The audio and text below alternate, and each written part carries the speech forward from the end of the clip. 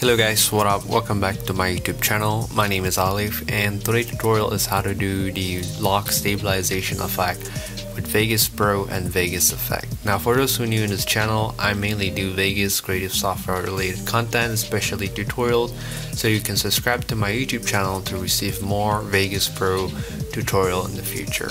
Alright, so let's dive back into the tutorial. Now the first method I'm going to use is by using the Vegas Pro to um, lock stabilization our video. Now this is not the best method to do and in Vegas Pro are not meant for doing such effect but you still can do it. So the way you do it is pretty simple is by using the pattern crop and simply zoom in and manually track frame by frame. Now you have to remember that your media must be in higher res and your final delivery is smaller than the media original size. So in this case, my video project is in full HD and my media is in 4K because you want to basically punch in the 4K media to the max whereby your video will be rendered. So I know my video is gonna be delivered in HD. So the max that I can go for this 4K media is 1920, which is full HD. So I know this is the max uh, punch in that I can do on my media.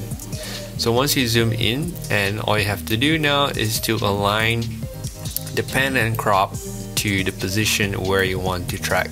So in this case I want to track this uh, white shirt guy here and I'm just gonna place the tracking position on the nose and once I'm done I just simply go one frame forward and start to readjusting and keep repeating the same process and I know this is very long tedious and boring method to do but this is how you do with Vegas Pro. So I'm gonna speed up the video and show you guys the final product.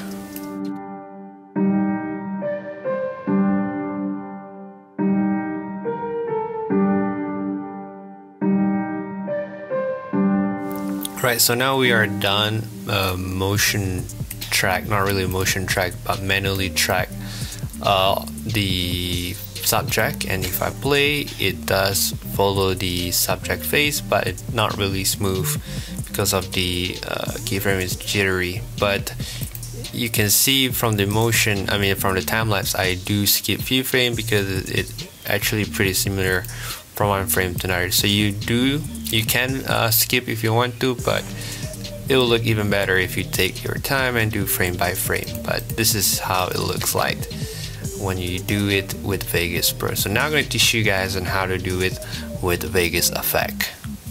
Right, so let's do for the Vegas Effect tutorial. So I'm just gonna copy this video and delete the entire keyframe for this video here. And I'm just gonna reset this video. So instead of um, launching Vegas Effect I'm just gonna click this uh, media here right click and edit in Vegas Effect so it will launch Vegas Effect um, from Vegas Pro. So for those who don't know Vegas Creative Software now have its own compositing software under the package of Vegas Post and we have Vegas Effect uh, software. So anyway here we are in Vegas Effect and we have the original video. Right here is it. So pretty simple. All you have to do now is click here to have more menu uh, on our media. And you see this track you click here and press this plus icon.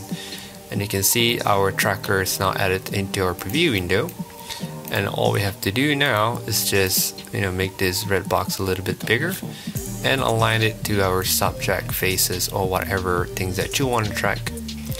And keep the red box fairly you know nice uh, because I want to track the nose so I just want to keep the red box fulfill the, entire nose here and the green box is a bit bigger and just press track forward and Vegas Effect will track the subject face very well.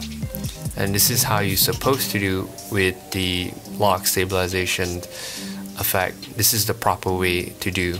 Alright so now Vegas Effect lost tracking is pretty simple fix all you have to do is just drag the tracker back you know in front. Instead of pressing play you can press one uh, track forward by one frame so we'll try to scan. And I know it's not gonna scan properly because the tracker doesn't see any uh, proper pixel to track. So I'm just gonna manually track forward here. I think about here is it's fine now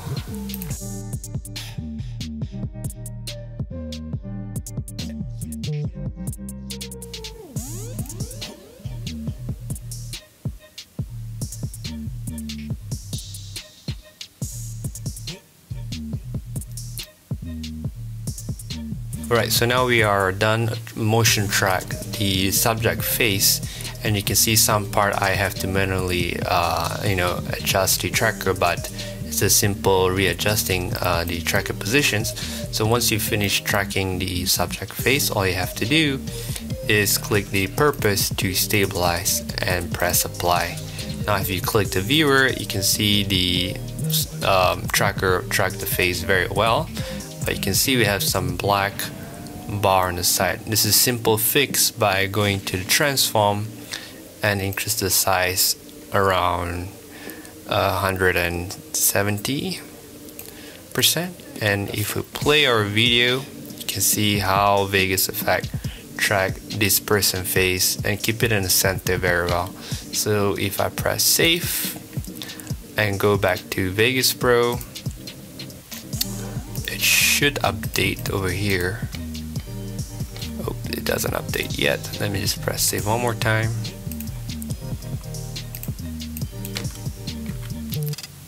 Let's get to Vegas. Alright, so now in Vegas Pro it should update the media itself. So this is how you do lock stabilization effect with Vegas Pro and Vegas Effect. And if you have any question related, you can just leave it down in the comment section and I'll try my best to help you guys. So see you guys next time.